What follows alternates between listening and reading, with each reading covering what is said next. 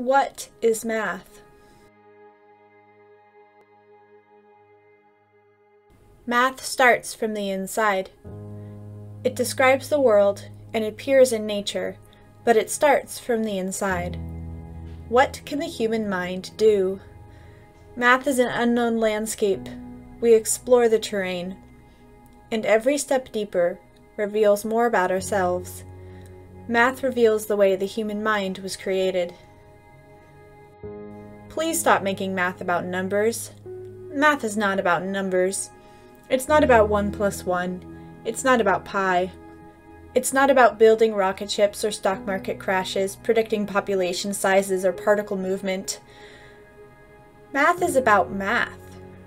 Math does not need justification for its existence.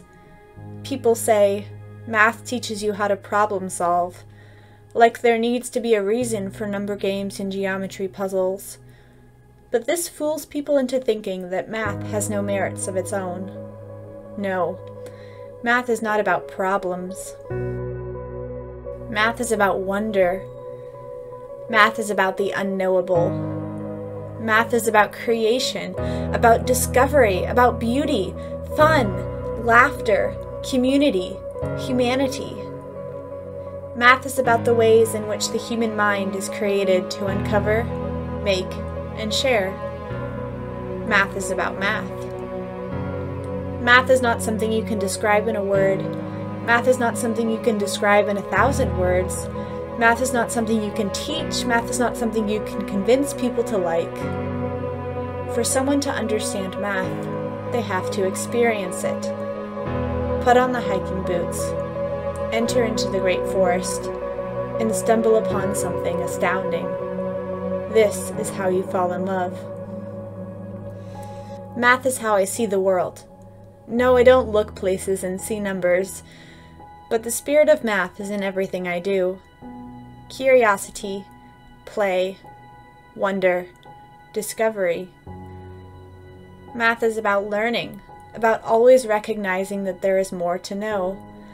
Math gives us power in the knowledge that we are small. It reveals the potential of the human mind and the ideas that we can never comprehend. When the pieces fit together, it feels like I am suddenly a deeper person than I was before. Suddenly the world makes a little more sense. It is such excitement to see it come together before my eyes, to almost feel as if the hand of God is writing it out before me and showing me the language of the universe.